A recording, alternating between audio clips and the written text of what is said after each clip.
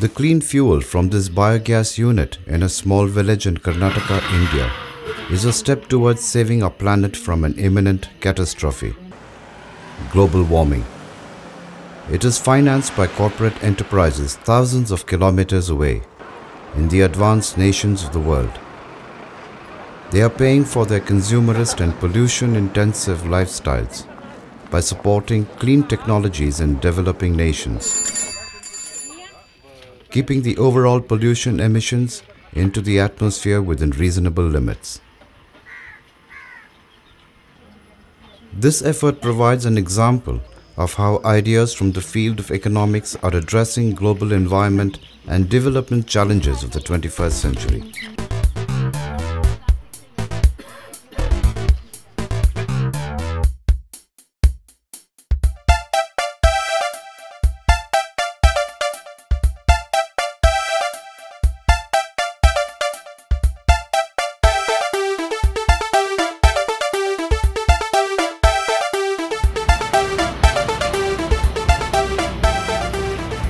Science and technology has changed our lives with economic progress and immense improvements in our standard of living. But all this has come at a cost. The higher levels of production and consumption are sustained through exploitation of natural resources and higher levels of energy consumption.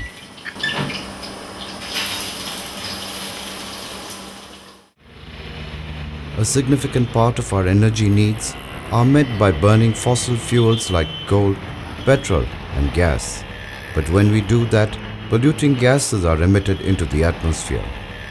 The Earth's natural atmosphere contains concentrations of so-called greenhouse gases, carbon dioxide, methane, nitrous oxide, hydrofluorocarbons, perfluorocarbons and sulfur hexafluoride.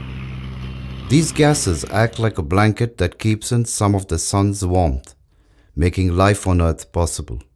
But the blanket is getting thicker with polluting gas emissions.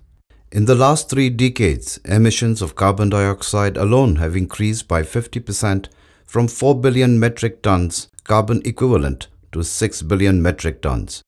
This is expected to touch 10 billion metric tons in the next two decades. As the blanket gets thicker, heat is trapped closer to the Earth's surface and temperature across the planet increases. Scientists predict an increase of anywhere between 1.4 to 5.8 degrees Celsius in this century. There is no question that we've seen a global warming of the surface temperature over the last hundred years. One of the questions is how much of that warming is natural and how much is it caused by human effects? I think this, most scientists would agree that there's a fair fraction of that is caused by human effects. And now we need to know what does that mean for the future? This global warming will have a catastrophic impact on the ecosystem and on human lives. Melting polar ice caps, sea level rise, droughts and floods, and extreme weather events are the inevitable consequences of climate change, affecting all countries, rich and poor. So what can be done to stop the process of global warming and climate change?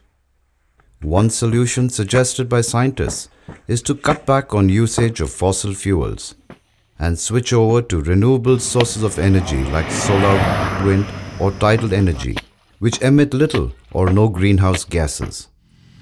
Another solution is forestry.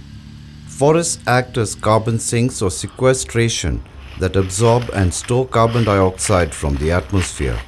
Forests, unfortunately, are also a source of emission when trees are felled or burnt in fires.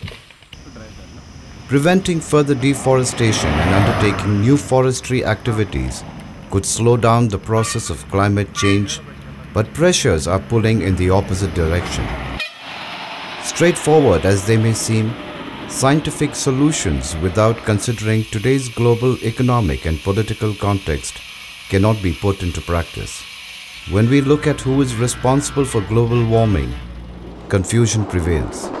In per capita terms, it is definitely the advanced countries which must take responsibility for global warming. However, in terms of total emissions, countries like China and India cannot turn away from their contribution to the problem.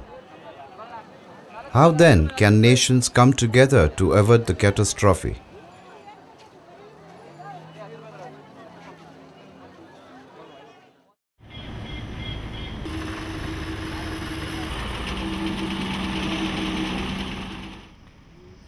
We pay for fuel, but do we pay for this?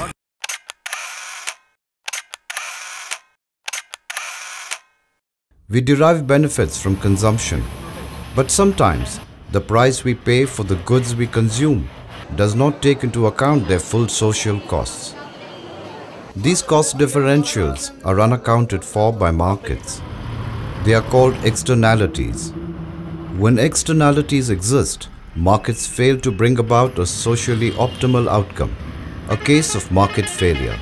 How do we correct the market to include externalities? Almost a century ago, the economist Arthur Cecil Pigou suggested a solution. The government must impose a tax on users. This would increase private cost and bring it closer to social costs. But there are concerns about the Pigouvian tax. What is the correct amount of tax that must be imposed? Neither too little nor too much. An alternative mechanism to internalize externalities into the market system was suggested by the economist Ronald Coase. Suppose each citizen is given a right to pollute, but only up to 100 kilogram carbon equivalent of carbon dioxide emissions per day. Now the car owner exceeds his quota, whereas this cyclist does not. When the car owner exceeds his quota, he will have to buy rights to pollute from the cyclist. The price for these rights are determined by the market forces of demand and supply. A little help is still needed from the government to enforce the quotas on the right to pollute at a reasonable cost. If these costs, called transaction costs, for enforcing property rights are excessive, then the market would fail to internalize the externality. Coase's theory has been applied to tackle this complex issue of global warming and climate change by enabling a mutually beneficial exchange between the industrialized countries and the developing world what the industrialized countries said was, look, for us it's extremely expensive, quite apart from being politically very, very difficult, to make emission cuts at home. And so a cost per ton of emission reduction would certainly come to 100 euros or whatever it is. So what they said was that, look, instead of us doing everything, even though we've accepted commitments, it is clear that a ton reduced in India is the same as a ton reduced in Europe in terms of the global effect.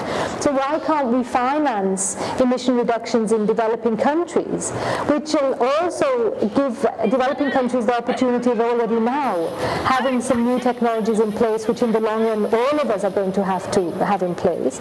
And also we've got cheaper um, emission reductions which we can use to meet our Kyoto targets.